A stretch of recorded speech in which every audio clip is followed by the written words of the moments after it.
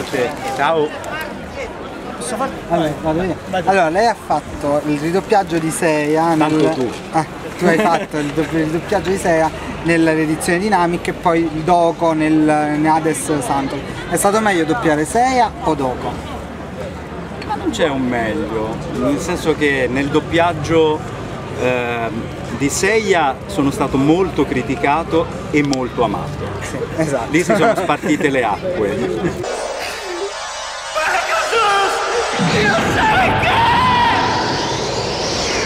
Ha fermato il mio colpo! Ma cioè non era mia volontà, nel senso che mi sono trovato in una situazione ehm, mio malgrado e mia fortuna. Uno perché ho lavorato benissimo in quella produzione, ormai sono passati un po' di anni. Eh, mio malgrado perché poi i fan affezionati a quella- a quel prodotto erano abituati a A una un certo voce, tipo di doppiaggio, un diciamo. certo tipo di doppiaggio, ma soprattutto a una voce. E, mh, quando si sono trovati la voce mia, chiaro che sono rimasti un po' spiazzati, alcuni volevano anche spararmi alle gambe. Sì, bucav- bucavano le gomme della macchina. Adesso vado lì e! Però purtroppo mi sono trovato in questa situazione qua. Certo non ho fatto niente io per portare via l'altro doppiatore, questa cosa qua, semplicemente il cliente che è sovrano e che decide ha voluto una voce più simile All'originale. all'originale. Allora, perché allora ero giovane quando l'ho fatto, mo probabilmente sarei fuori luogo, insomma non lo farei più.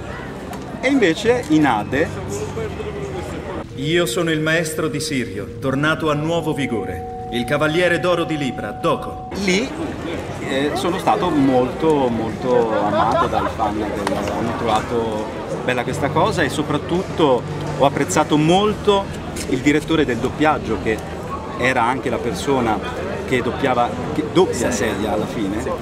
Ho apprezzato molto il fatto che mi avesse chiamato comunque per fare una parte nella sua serie. E, e quindi insomma è andata così sei andata così Ultima domanda, ma questa è più personale.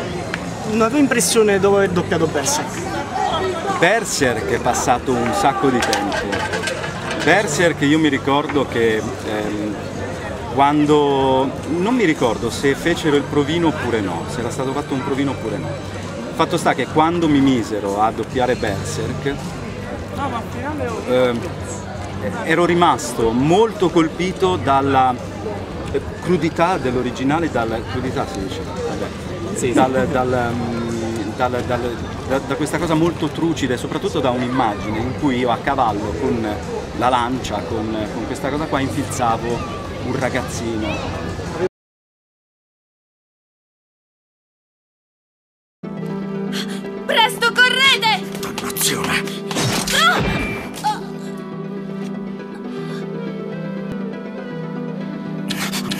Quella cosa lì mi ha rovinato l'esistenza per almeno un mese. E per dirti me la ricordo ancora. E quella cosa lì l'ho trovata terribile, terrificante. E di Berserk io mi ricordo i primi turni, quelli del mattino. Adesso sono un po' più sgamato, nel senso che i turni dove devo urlare chiedo che non mi vengano messi al mattino, perché al mattino è difficilissimo urlare e rischi poi magari di rovinarti la voce per tutto il resto della giornata, non puoi più fare niente. Per cui adesso magari chiedo che le cose urlate mi vengano messe il più tardi possibile. Allora magari ero meno sgamato, ero più giovane, ero un ragazzino, stavo, stavo più o meno agli inizi eh, e quindi mi ritrovavo il mattino alle 9 a tirare degli urli inumani e lo facevo. Però ero più giovane, magari avevo la voce che reggeva di più e non capitava che alla fine rimanessi senza voce. Adesso devo stare un po' attento, insomma, ho anche una certa età. Per concludere, dove ti sentiremo prossimamente? Dove sentiremo la tua voce?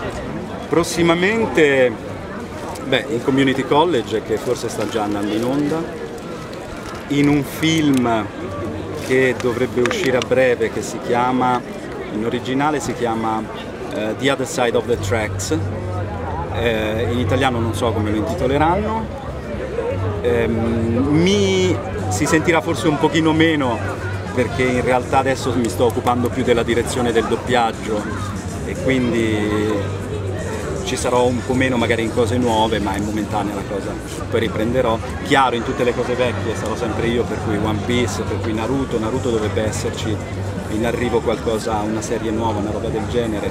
Eh, One Piece, ehm, aiutami, quello delle Yu-Gi-Oh! Yu-Gi-Oh!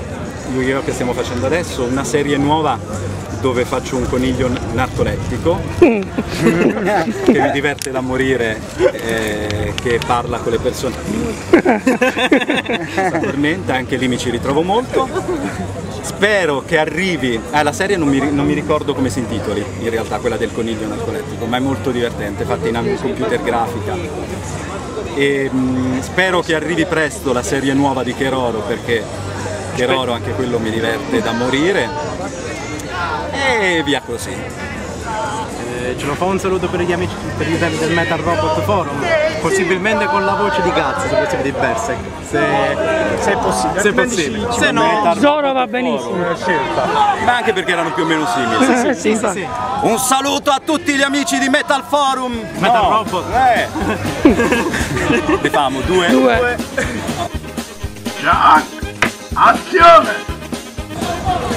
Un saluto a tutti gli amici di Metal Robot. Metal Robot. Dai, dai, dai. Tre. Tre.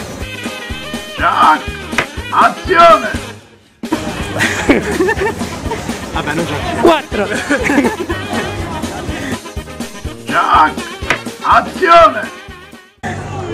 Un saluto a tutti gli amici di Metal Robot Forum da Patrizio Prata, Berserk e Zoro. Grazie. Grazie. Ciao ragazzi. Grazie mille. Una foto ci facciamo.